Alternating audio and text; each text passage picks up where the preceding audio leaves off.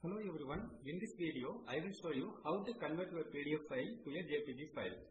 Here I am showing a simple tool, this is an online tool, you don't need to install any software in your computer, you can just directly access this tool in your web browser. Here in this video description I gave the tool link, you just click that, you can directly access the tool. Before explaining this tool, I am giving a short description about what is a PDF and what is JPG and where we are using this PDF and JPG in our lab. The PDF stands for Portable Document Format. The main purpose of PDF is used when you need save files that cannot be modified but still need to be easily shared and printed. PDF files are designed for long-term archiving of digital documents. This is the main purpose of PDF. On the other side, a JPG file is an image saved in a compressed image format standardized by Joint Photographic Experts Group. That's called JPG. It is commonly used for storing digital photos and used by most digital cameras to save images.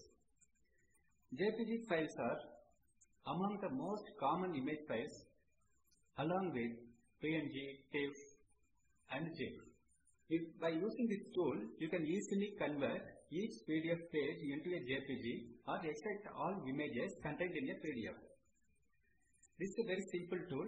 You can input the PDF file on four different methods. The first method, that's a general way, just click the big button.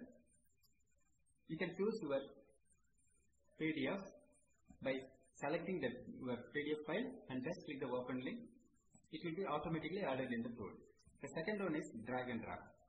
Just open your folder, computer folder and just click your particular PDF file, just drag and drop it in your tool. The third option, you can input the PDF file from the Google Drive. The fourth option, also you can input the PDF file from Dropbox. So you have four different methods to input your PDF file. Once you uploaded your PDF file, then click the compress button. It will be automatically convert the PDF to JPG. Then you can save the JPG file in your computer. Is a very simple process. I hope this video is helpful to you. See you again on next video. Bye.